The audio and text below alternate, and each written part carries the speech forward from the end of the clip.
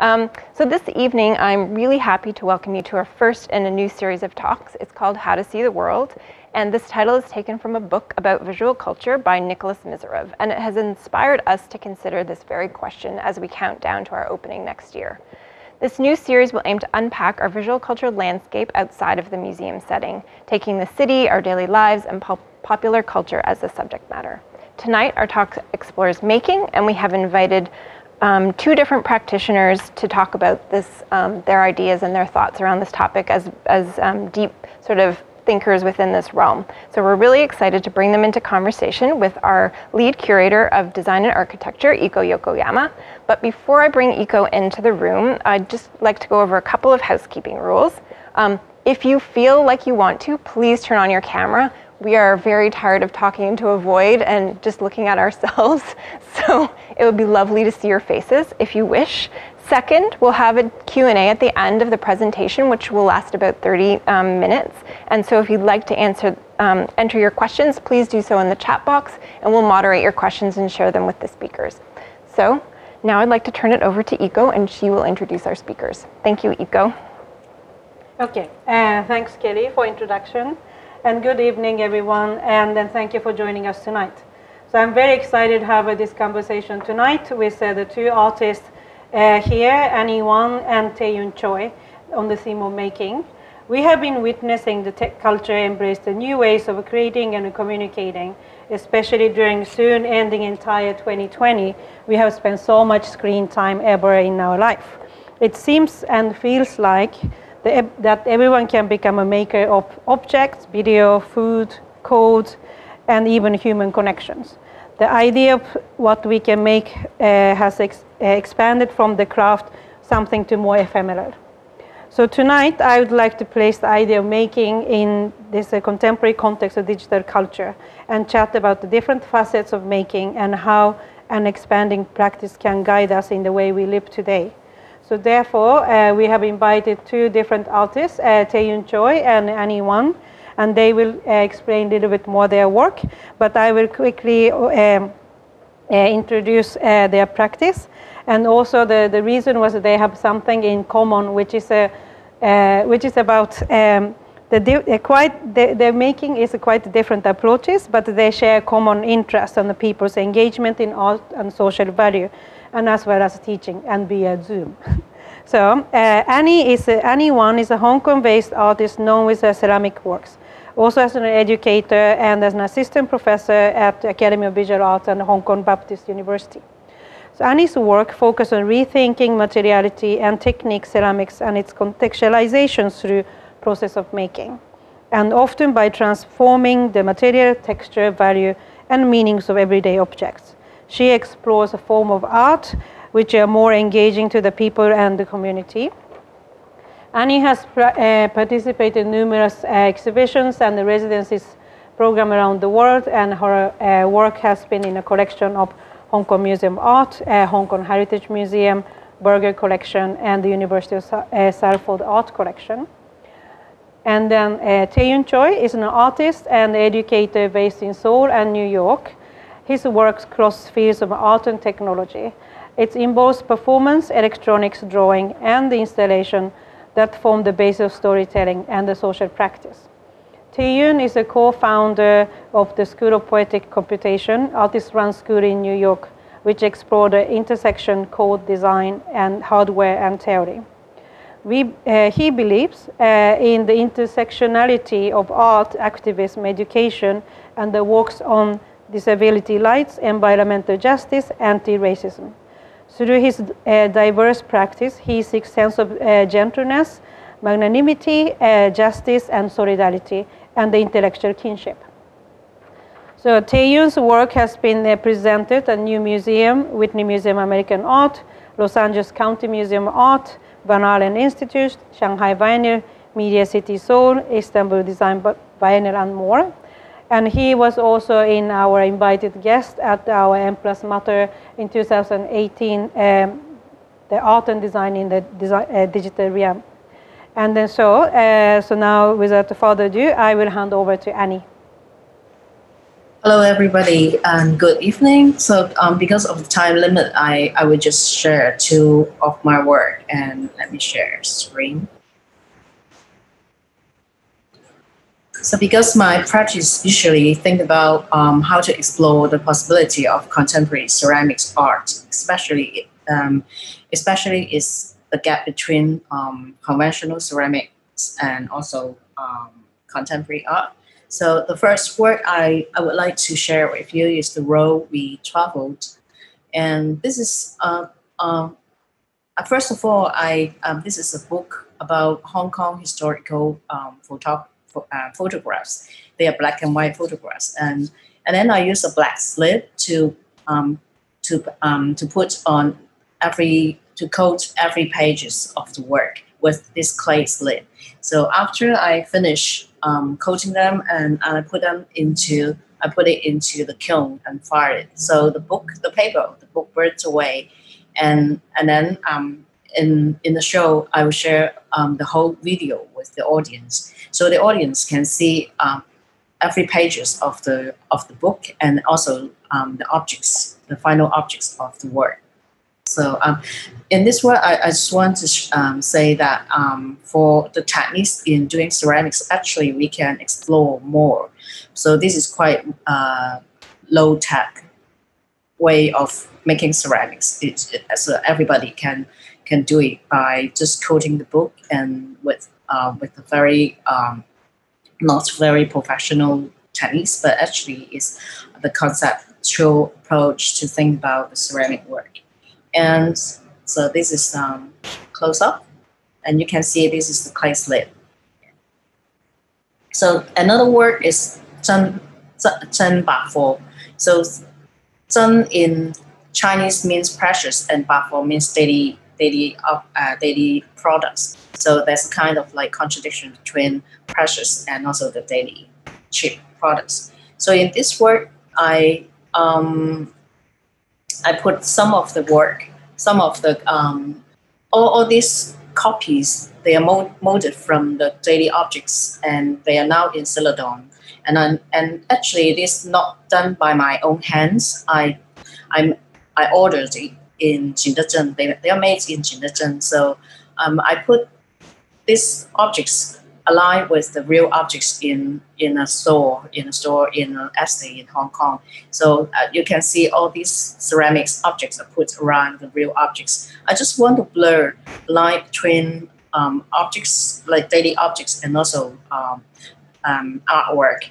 And at the same time, and I, I want to question about the value of the objects like the art piece and also the daily objects. So how they, how it can be like exchange like um, in the in the monetary value. And so this is I want to show you quickly. So this is all the ceramics in in the shop in the store. So um, that's another part of the work. I put it in another showroom in um, in Shan Shanwan that is a like uh, area with full of gallery and also like cafe and high high end area. So um, I, I put all this work, all these objects in just like a showroom and but put it in like a gallery. But uh, finally, I was I I I would sell all of the work in the original price of the real objects. For example, one Coca-Cola is about six dollar Hong Kong dollars. So so you can buy the artwork with a very, very cheap, affordable um, value. So there's a queue of line, um, there's a queue of people. They line up in early in the morning to to be a collector, one of the collectors. So so uh, every every object every object just gone in one one and a half day. So and at the buyer's home, I find it is quite interesting that um, I I um, I found these photos in Facebook on Facebook. So everybody just put it in the fridge and in the kitchen and in the bathroom. So not not treating it as like a ordinary art piece. They they rather put it in um, in the daily life space This is in the fridge. So I just want to raise one question. Is um, I I did not make this ceramics by my own by my own hands, but I ordered it in in the factories. So um, this is the way um, this piece is made. So this is all I shared today, tonight.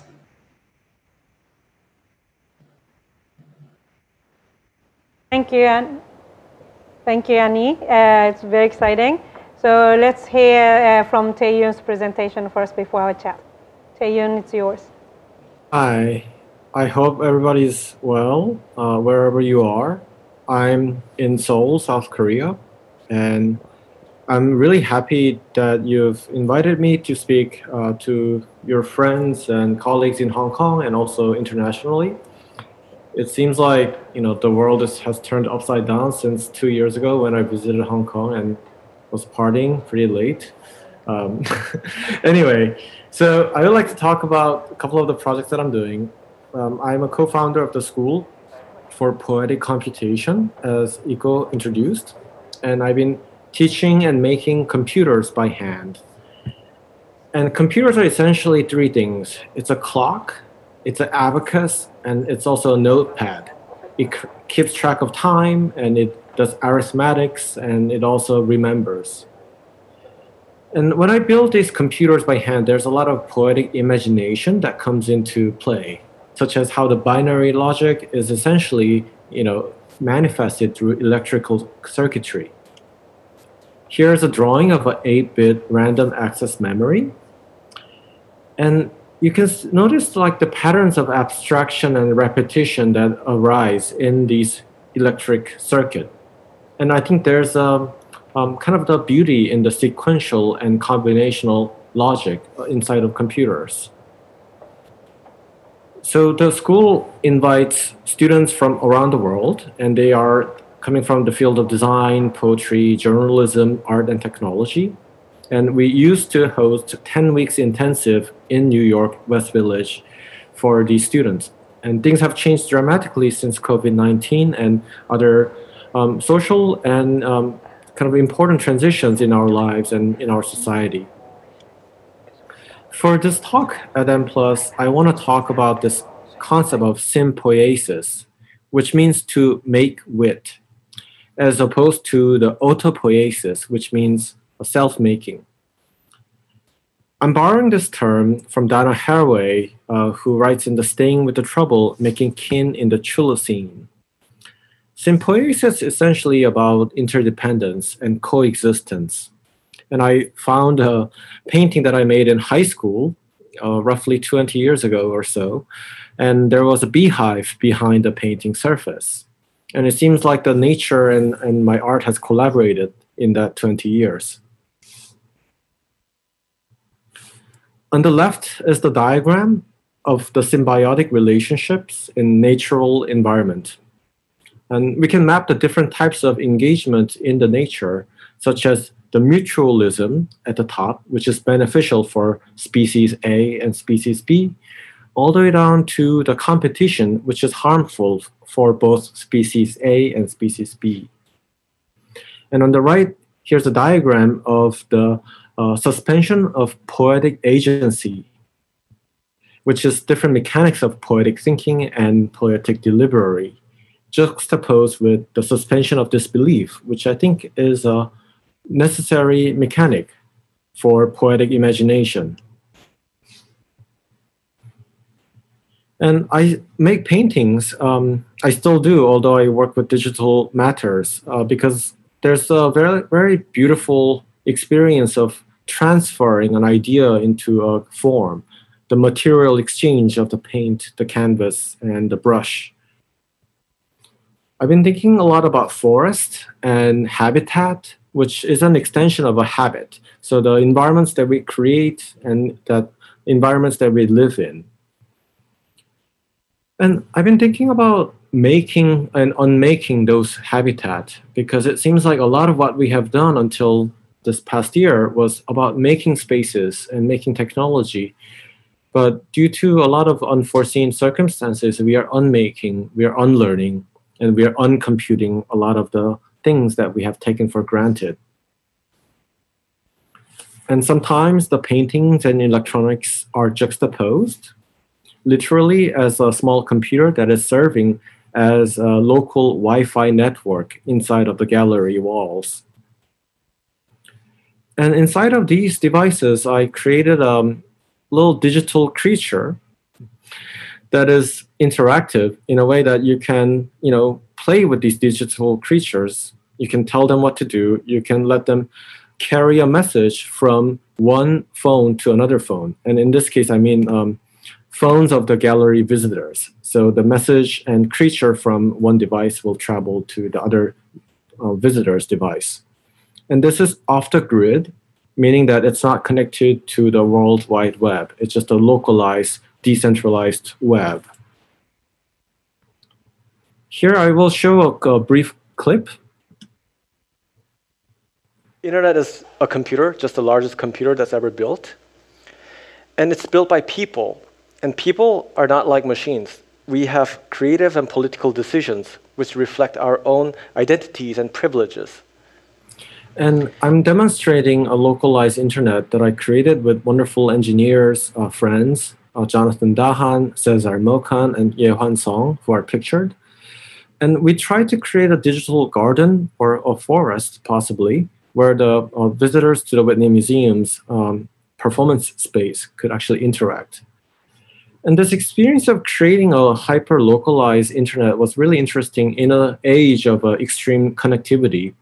And this is just uh, in last year.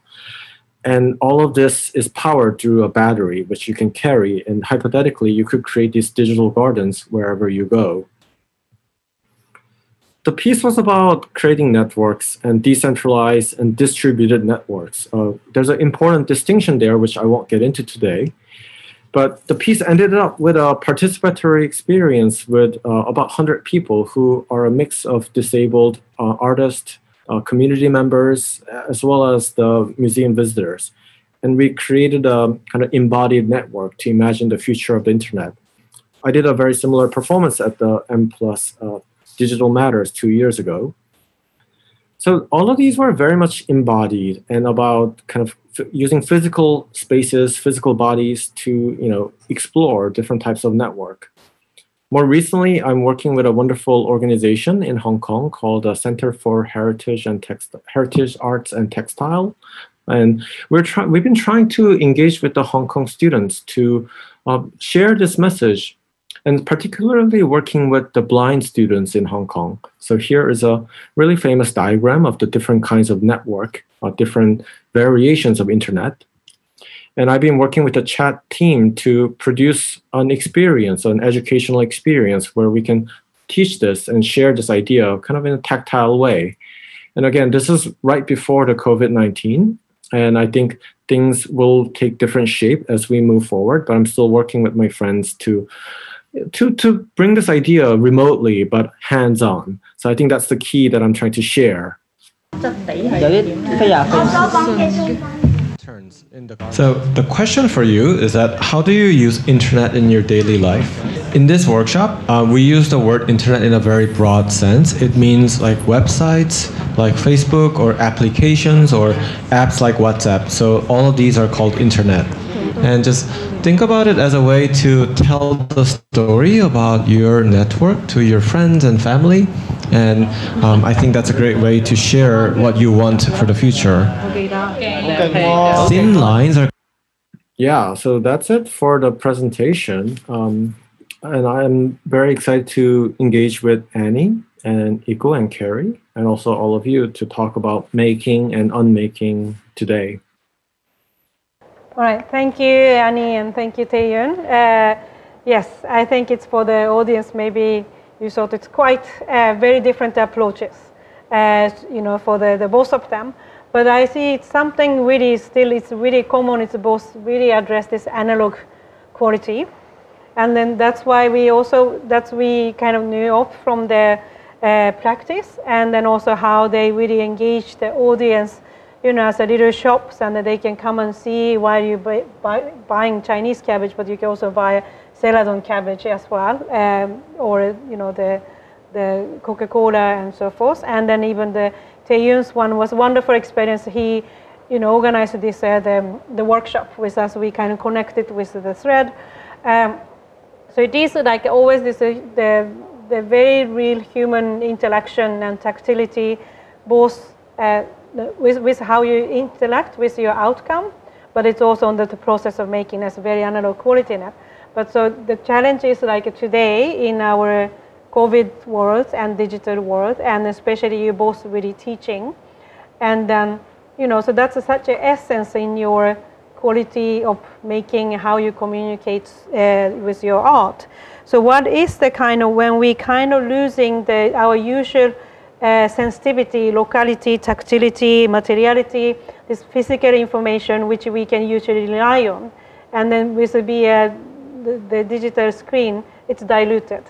So what in, by, in, by doing this, what are we losing? Uh, something behind, or or did you discover something new? We can kind of the discovery to that, um, you know, the journey, the translation, because it's both also that your work is often about kind of translation and transferring some meaning to the another. So when you focus, you know, facing to this digital transmission, the screen-based, what is your experience lately? Maybe Annie, you want to start? So um, because I work in ceramics, so um, ceramics uh, is about objects and not material. So um, and the meaning of making to me is quite literal and quite maybe conventional. It's, uh, it's about hands and how and also about material. So um, if uh, if just on the internet, just like what you said, um, we um, we do the making on uh, on on the internet I think some of the material details are lost, and also the three-dimensional form will become quite um, reflectant, like images. It's quite a lot of images now today, and and also um, for me, material is still very important, and it is one of the uh, one of the issue will be lost if we just teach on um, we, we, we teach ceramics on on site on like internet or something. So, so but uh, at at the other other side, um, it can reach more people. I think this is true. So um, more people can learn ceramics, but um, but it's quite in I would say it's quite in a superficial way of making in doing ceramics. So that's that's what I think. Um, I'm not quite uh, um, not quite supporting um, the all, all the making on make uh, on the internet side. So. Mm-hmm. Okay, all right. Uh, Taeyoon, do you want to respond? Agree with Annie, but I will actually say that I was pleasantly surprised by how everyone adapted to the new normal rather quickly in the last six months like on the early weeks of COVID in New York, where I was based, um, you know, I, I, teach in few organizations, and like all of my bosses basically said, like, okay, you have to teach online next week, and I was so upset because I was just like, like, what do you mean? Like, I like it just does not work, and like I didn't prepare. Do not. But um, what I realized is that there has been a really positive kind of collaboration across different places. Um, so I taught a class about teaching, and we had students about 35 to 40 people at different time zones and we met in two different type, times of the week. So one for the kind of europe and east coast of the us and then the other for asia um, southeast asia and then uh, west side of the us and all the students actually we did a workshop called dal making like an indian dal food making uh, led by one of the indian students and these folks in like lebanon like you know malaysia china us like all all making dal for one hour and with the ingredients that they found on locally and they were tasting it by the end of the workshop so it was still very hands-on and very visceral So I think there's a, and it was just a really interesting way to think about. I mean, the workshop was about environmental, you know, impact um, of technology and also like other food, um, you know, food justice issues.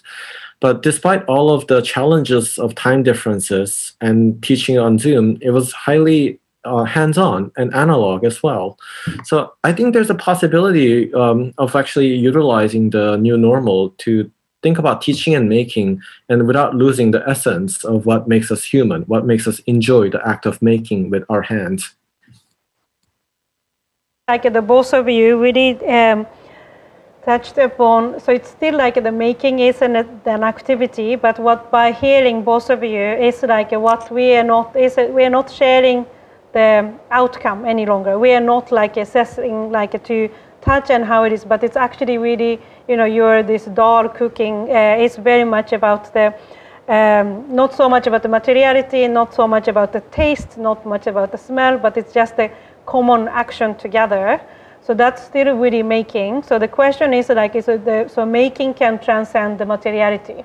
That's still like a kind of, you know, so which for you, it's both of you, it's very important, the very tactile, your drawing, painting, ceramic. But, you know, how, I mean, of course, this situation wouldn't continue forever, but, you know, the, yes, it's, I think you've been finding new quality. Um, that's very interesting. And then also, like, a, um, yeah, I wanted to ask a little bit to you what you said about this kind of uncomputing, you said, but because we are very much in this forced to like spend more time with the computer. So the you are always the, saying like I'm computing unlearning. It's a little bit like a yeah it's it is I get it, but it's also a little bit contradictory because we are, have to really adapt ourselves to learning new normal. So it's not so it's so what do you what can you comment a little bit more this uh, uncomputing and unlearning during this time?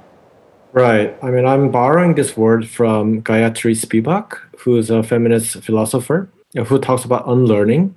In a way, it's not just about forgetting, but it's about asking and challenging how you learn, why you learn certain subject matter. Uh, for Spivak's case, it was a you know colonialism and post-colonialism as an alternative to this um, you know pedagogical framework of the Western universities. But for me, uh, I'm taking that to unmaking and also uncomputing because in traditional sense, people learn to code to become an engineer. And I, I have a lot of issues with that because I think engineering is, or kind of a commercial uh, corporate sense of engineer is just a one type of technology. Um, there's a many like poetic approach, kind of a activist approach and creative approach to working with technology. So for me, on computing is is exactly that: is to ask why we compute, how we do it, and for example, how is the data being used, and how is the code being used to govern the society. So it's giving um, everyone a chance to learn in a way that they can ask the right question. All right. Um, yes, it's it's very much like how yeah how we adapt ourselves and then also um, the yeah it's it's very like how you say it it's like uh, to adapting new normal but at the same time the, I'm very interested to hear from both you both of you it's this kind of the why are we gaining? We're unlearning. We're kind of you know coming to the new world. But at the same time what, what is the ability we are losing by doing this? Because you know you know that what's the joy in making. And then also I want to connect a little bit this question to the next one because it's, you know, we have seen the phenomenon in the through the or the social media, people started making things and just sharing, posting so much. And then I want to understand this the, the psychology because you know you both are more professionally usually share your work. You know, in the gallery, in the museum, at the teaching classroom. But now people like amateurs, everybody started really sharing their what they made. It's not about if it's how it's made, what's the messages, people just sharing, look at what I made. So what is this kind of psychology behind, do you think? And then also what's the relation, you know, kind of little borderline between, you know, as a, you know, are you feel like a slattern little bit, your profession as an artist and designers, and then because now everybody's embraced as a maker? Annie? People like um, other people to appreciate the work and they're making, and for sharing on internet, actually, um, the response is quite immediate, and also it's, it's, it's spread out very quickly and, and widely. So um, like everybody like the like by by friends and and, and then it, it is spread out very quickly. It's just like the depth of time is very thick, and it, it it's also lasts long long time. So, but it, sometimes it creates um, more comparison between like people who makes things. So um, if I have more like than you, and then I, I, I might feel not very good at that moment. So so there's there's a kind of psycho, psychological response you know, on like social media and. Mm. And? Problem with people making stuff and posting online. I think they should do more of that. Um, I, I, think it's quite healthy and natural. Um, I think I'm not threatened by other people making art and craft and posting online. Um, but I, I, think I'm trying to get to the core of your question. I think there's a danger of the sense of a consumerism associated with making and sharing online that seems to be sort of the undertone of what you're criticizing. Um, I think there's a problem with that. Um, I think there's a potential of kind of appearing to be creating something meaningful, but it's actually just consuming. Um, been thinking a lot about waste and compost and kind of the uh, circular approach of making. So if you're buying a lot of plastics and then making something nice and p- posting a picture of it just for the Instagram um, appreciation, I, I, think that's a very short-lived approach of making and sharing. Um, but if you're making something recycled and kind of sharing that process, the joy of it, I think that's quite beautiful. I, I don't think why people should stop that. I totally agree, but at the same time, I also start to see because we had another event, our hackathon, with uh, you know the very young, uh, recent graduate uh, young people to look at what is the making and the personal museum as a theme. So there is a, like a lot of like emotional anxiety in the society because you know it's it's wonderful to see people what they make, but it's also become so much people start to stress. Oh, I'm not baking sourdough, or I'm not you know sharing like um, starting any ceramic courses. So there is a little bit of balance between like making this become kind of psychological stress, but it's also what you also touched upon is like uh, the because um, I'm very 3D person. I love object. I love tactility. So that's the kind of transition when it's become it's just a visual information, uh, possibly audio information when we transmit. So then it's like a, it's it's kind of old-fashioned advertisement trick. So if it's like a, the the visual information because you have a, you, you don't you can't really back up with other quality. So like advertisement, you want to sell something, then of course you exaggerate. You try to look prettier than it is, you know. So then people start think that's the reality, you know, the things I'm going to get. But before, then you go to the store, you get the what you saw in advertisement, and oh, this is a disappointment. This wasn't really what I thought. But these circular things you you mentioned, Taeyoon, so it was a little bit, if it's a normal advertisement, consumer products, also any makes in object, there is a circulation to that.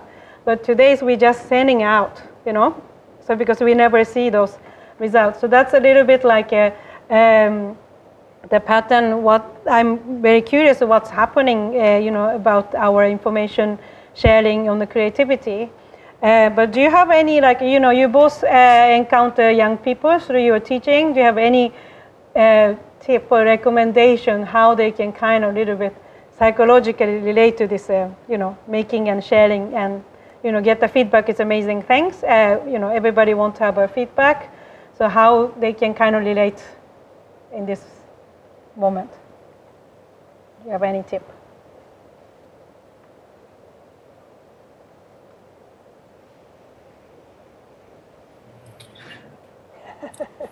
No tips. No tip? I mean, I, I guess I'm just thinking about um, for for some people it's quite easy to post their sourdough or their painting on the internet, but other people you know think about it for four nights and then stress over the exact caption and the hashtag and it just gives a whole a lot of anxiety and i just know that it's not the same for everyone um, i think that it's quite similar to um, public display of affection of like some people love to show off like i have a you know partner like we are in love but other people are like you know i, I that's a private life. I'm fully in love but i don't need to show that. Um, i think both modes of loving and making needs to be appreciated. Um, i think it's a little abrasive if it's enforced on, upon people to show off your sourdough or your breakfast every day because I, I don't think people need to do that so just the culture of a more of a subtlety around what you make, what you love, what you create. And I mean, I also think the core of your question is about privacy. So um, I, I, think we are at the space of an overexposure of like our personal lives and our creative practices. So perhaps it's we just need to be more gentle about how much we share and how much we expect other people to either, you know, see what we post, hear what we say, or respond to our text message or Instagram messages or emails.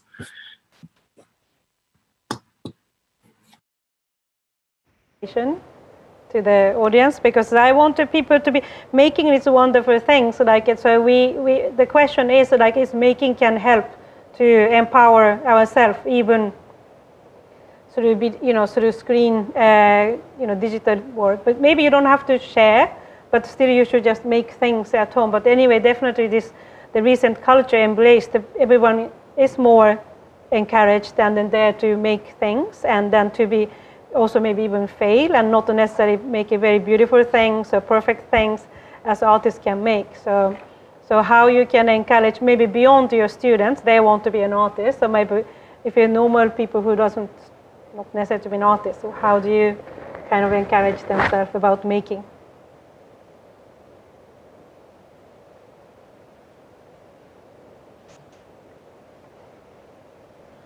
I think making is a kind of like self-expression. So um, um, and also um, they in my in my like um, in my uh, understanding of the sense of making in ceramics actually is more like uh, a kind a, a period of time of concentration. So this kind of concentration actually can like you face your own self and also maybe some close to uh, meditation, something like this. So uh, it's somehow in this period of time, like um, the busy city in a busy city, it is is is is kind of like um, play a distance between the daily life and and then you can um, find another way of express yourself in in the in the way of making. So. Mm-hmm. So thank you, Katie, for the reminder. so we have got some questions, I think. We do. So we open up the question to the audience. Yes. Yeah. And I think while I'm just waiting for the questions to load, I was just going to say that, um, so I started making, doing some ceramics because I feel like I'm very typical of somebody trying to get into making and I'm not very good and I won't share anything. But um, I feel like I was thinking like in some ways you just have to get over the fear of not being perfect and just because you're doing you're doing it for yourself. You're not doing it for anybody mm. else. And I think for me that's like what I have to try and remind mm. myself. Mm. So I think it's sort of interesting listening to this mm. conversation because I think, oh yeah, what's stopping me or what's preventing me? And that's I have that same fear. Mm. So I'm sure I'm not alone. Um, but I'm envious of people who are amazing at this work. okay, so I've got some questions now. Um, Feel free to keep asking them because um, we've got a few minutes where we can ask um, the artist some questions. So I think um, one of the questions I'll start with, um, and I'll start maybe with you, Taeyoon, and then we'll go to Annie, which is, has your practice of making informed how you think about or deal with what's happening in the world right now? Um, Zoom? okay. So um, for um, for me, I I always think that um, I always think about this um, like the gap between uh, ceramics. Actually, is a, like a studio studio work. So um, it's quite different from um, now the digital world. So um, the nature of ceramics actually is like material and also like uh, objects. So um, if we change um, the ceramics into a digital way, it's totally changed the nature of the ceramics. So um, just like the 3D printing ceramics, so it doesn't need um, you, you use the hands to work on the clay, and but some and also the way we try like um, we can we can uh, send a 3D software to everybody, and then they can print it out. So I don't need to make the hand uh, make the objects by my hand, and then I give I give um, to the presents to friends face to face. So I think this totally like a revolution to um, the traditional ceramics. So I, I, I don't know. I am still thinking about how these two can be like um, merged together, and also how this gap can be like filled up together with um, the com- uh, contemporary world. But I, I would like just a quick comment. I mean, you've been kind of already doing. You said all this, uh, the Celadon object. You just ordered to Jingdezhen. So yeah. there is already you start to kind of transmitting, you know, like uh, passing on to. They can be continue to be. They can just click and order, and then you send the order to China, and then they will post it for you. So that's kind of circulation physically probably possible as well. Yeah, yeah. and also some uh, one of my new uh, latest work and um, people can buy, not not buy it, adopt. I, I call it adoption. Adopt an hour on on internet as well. So I use the internet to to um, like uh, um, to deliver to deliver the hours to the audience as well.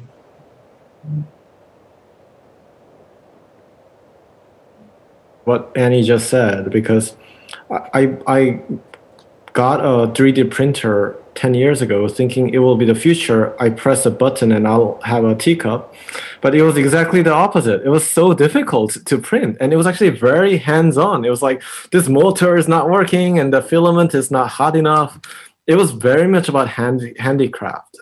And like the friends, like my artists who use 3D printing are so good at like understanding the heat transfer and like the materiality of the the pigment, um, the filament. So I mean, I think there's still a lot of the sort of the uh, physicality involved with the digital manufacturing. So I, am still not sure. Even if we order it to, you know, corporate uh, 3D printer, still there's still a human operator in certain stage, as well as including like um, delivery person who's carefully carrying this over the bubble wrap and then like placing it in, into us. So I still don't think the virtual has become totally immaterial. It's still very much like tangible in every aspect. Okay, so I think that ties into this next question a little bit because um, this um, questioner asked, does making have to be individual or is it all, or does it also have collective elements? So does making connect us with other people in the world? Yes. would, Annie, would you like to expand on that? How does making connect us, or is it how does it how is it how does it feel collective to you?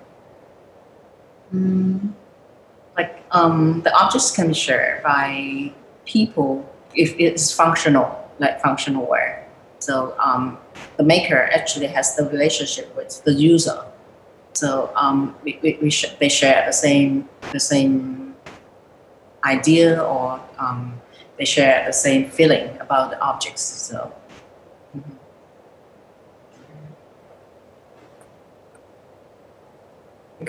When the COVID nineteen became so, um, you know, dominant in March, April this year. I think everybody was making a face mask, or the people who could sew were making face masks and then donating to elderly or people who need them. I think that was just so beautiful. Like I'm, I just think like that time that they have put in to make that, like I think that's just so valuable, and I loved seeing those images. So there was a sense of a connection through that act of making and to, I think I was unable to answer the earlier question about if making has changed how I think about the world. Yes, because um, I still don't know what AI is, like the artificial intelligence. Like when people say machine learning or AI, like it just, I, I literally don't understand. And I have a strong sense that people who say that don't understand it either. So I've been looking into like kind of linear algebra and like the very basic uh, kind of the mathematics behind a lot of the statistics. And I think I understand the 20% of how much I need to know to actually understand AI, maybe or more like 2%. But still, that 2% actually helps me to have a better literacy and make an informed decision about what I say yes and what I say no to. So, uh, yeah, I think the idea of making is not to like build a whole you know house or your environment on your own right i think that's not my personal goal, but just to have a different relationship with the ways things are produced and consumed and to appreciate them in different ways. Yeah, to, I mean, totally like it to you for making. So we've been talking very much about you know us or you, we make, but it's also I think definitely this uh, the COVID time made realize us you know the how things are made, how things are you know, we suddenly shortage of toilet paper, shortage of masks, and shortage of food supply or air ventilator. So, so it was we are realizing the circulation of the objects, uh, which makes our life keep going, and then also how much actually can make it as a makeshift, uh, more temporary solutions. And that's also something which we've been heavily rely on automatically before. But actually we realized maybe we have to do a bit more effort yourself you know, to more make things ourselves to, or maybe we cultivate, we bake or cook food, whatnot. So this definitely was, a, to me, was a very positive uh, idea uh, about uh, to facing this world because that was not only making ourselves uh, making things, but it's how all other makers around us make us our life going. Uh, I guess, uh, do we have? We've got time for, one more, more question. question. Yeah. Um, so I guess this is maybe uh, a good question for both of you to answer, which is, does making have to be useful? I think I know the answer, but I'll let you guys answer anyway. Tell us what, why you think that way. So, um, and also what uh, what is the meaning of useful as first? So, um, if it is functional, um, I think the process of making is already a very useful way of expression. So, um, but the object itself, it doesn't need to be functional. So, mm-hmm. I think there's, yeah. Sorry. Um, I, I think there's a lot of power in uselessness and the lack of utility. Um, I think as long as I guess I want to pose the question back to the audience is yeah, useless making is beautiful and we should continue, but making of the waste and excess is also problematic. Like we just produce so much stuff, like the whole world, including artists. and so I think the question is like, how do we make in a way that is ethical, beautiful, and meaningful without excessive uh, production? And I still ask that to myself all the time as I make stuff. Yeah. It's a very good uh, note, Taeyoon, because that's the kind of I wanted to also reach to the our, you know, we're embracing, but we have to think about the meaning of making, you know, because we are surrounded already so much objects and so many things, and then we have to think, you know, if it's if it, maybe it's better to help the other your neighborhood baker by buying bread also. That can be a good action as well. So it's i think maybe i hope we have been kind of encouraged and learned and also maybe a little bit after this talk maybe we reflect a little bit. Once maybe you buy a, like a yeah the, the kit what you make or or maybe not or buying somebody else made stuff. So i hope this will be just a little clicking your mind uh, you know, when you go on the street and you go to the market next time. So shall we conclude? Yes. yes. Uh, so thank you very much uh, for audience, and and again, sorry for a little bit technical, uh, so a little bit delay in the beginning, but I hope you could hear our conversation through. And then thank you, Keri, and thank you, Annie and Taeyoon, and then also whole team here at M Plus. Uh, maybe you want to continue to say something yes. of the series? Yes. Yeah, so um, stay tuned. We'll be launching the next series. we'll take the next talk will happen in January. So um, just watch the M Plus um, channels, and you'll find out what and when that is. So thanks so much for joining us. Thank you so much, Ikko. Thank Thank you, you. Taeyoon and Annie. Thank Bye, you. everybody, and thank you all for joining us. Thank you.